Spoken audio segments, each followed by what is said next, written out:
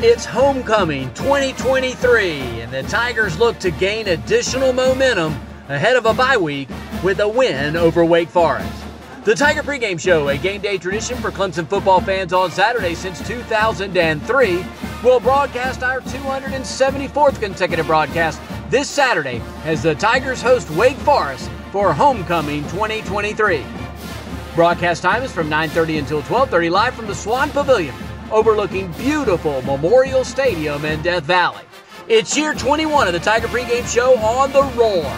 Scott Rhymer, host since 2003, will once again be joined by William Qualkinbush as co-host on the flagship station for Clemson Athletics.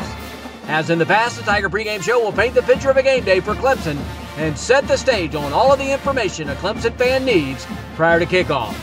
And just like in the previous 20 years, the show will close the final hour with the keys to the game and game day predictions by both Scott and Qualk.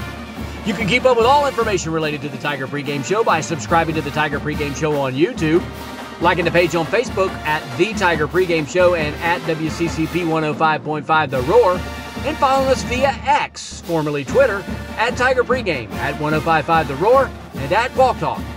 Broadcast time for Saturday's critical ACC matchup is from 9:30 until 12:30 as we celebrate homecoming in Clemson.